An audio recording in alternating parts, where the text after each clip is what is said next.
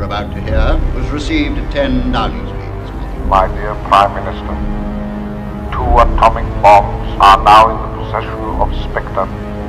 Unless within the next seven days your government pays to us 100 million pounds sterling, it will destroy a major city in England or the United States of America. My name is Admiral John Godfrey, Director of Naval Intelligence. Your travels, all this cloak and dagger stuff, shows imagination. Flattering. Very flattering.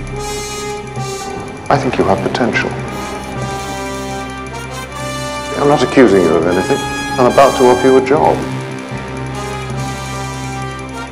Code name? Thunderball. Now you report for duty tomorrow morning, 9 a.m. sharp. And with a better attitude.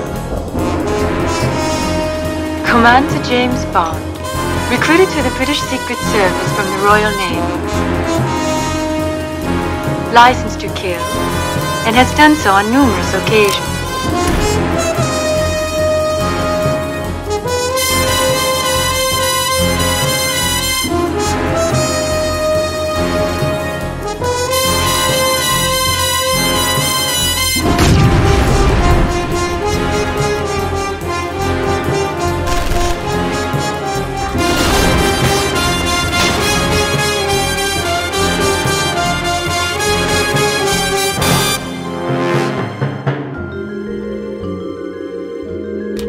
So, what's the choice, James? The girl, the mission?